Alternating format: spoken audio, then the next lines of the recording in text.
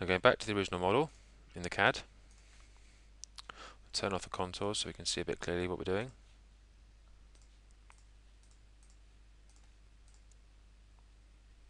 If I zoom into a location, our lines, if I query them again, consist of short straight lines.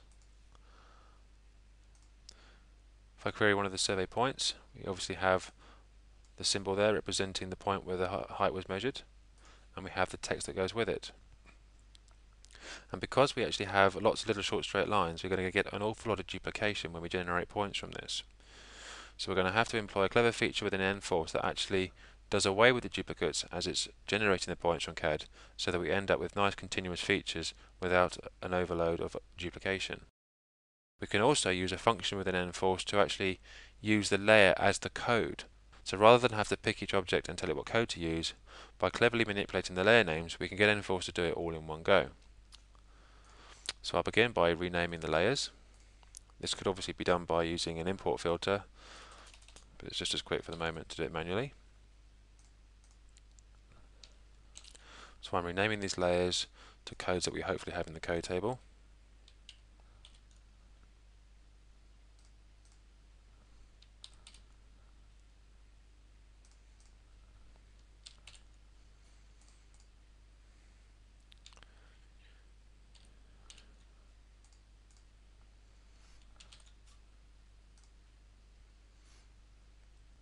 Finally concrete.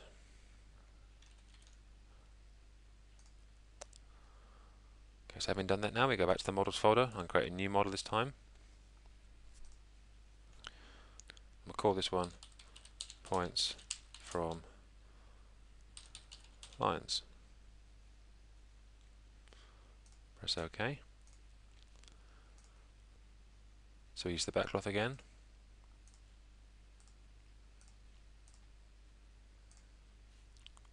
To extents. Okay, so as before we generated points from the points, or rather the symbols, this time we're going to use the line work. So we go to points this time, and come down to generate from lines. We use the assigned height as before, and where we have point code, we rather than put a point code in, we say layer is code here on the right. Obviously then the point field becomes inactive because we're going to use the layer names that these objects lie on. We're also going to invoke the option that says trace lines. This is what allows n4ce to look up the duplicate points in real time as it's generating the points and reconnect the dots to form continuous features. I'll take out the maximum spacing because we don't want to generate any more points along the features than we already have.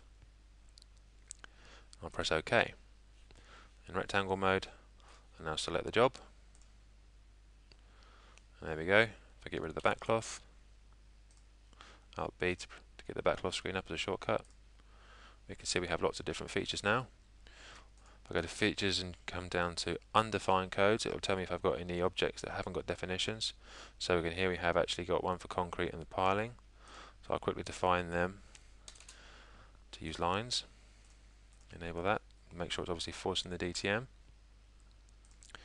And I'll put that in yellow so we can see it and let's define the piling. Obviously removing the string numbers.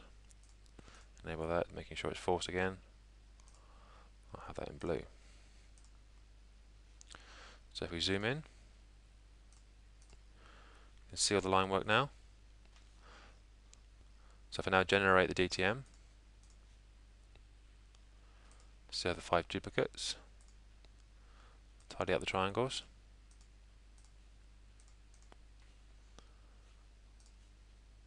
Here we can see we actually have nice honoured triangles, but unfortunately we're missing the data in the middle of the stream.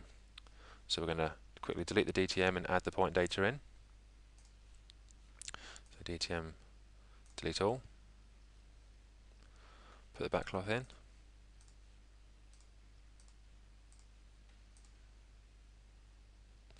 Now I can very quickly go to points, generate from symbols again. So repeating exactly what we did to begin with, using the assigned height. Started a nice round number. Don't want to say layer is code this time. Use SL. rectangle the job. There we go. However, when we zoom in now, we'll have lots of duplicates because we'll have points generated from the lines and also the points that were in the same place, as we can see here. So I'm going to get n4ce to delete the duplicates.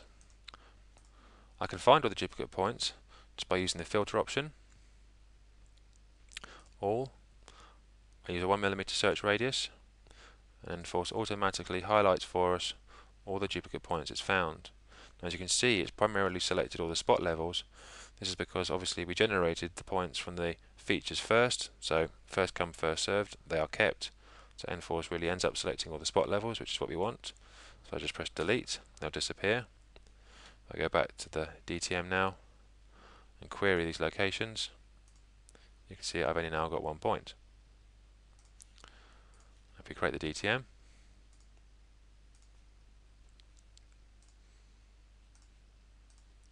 tidy up the triangles again.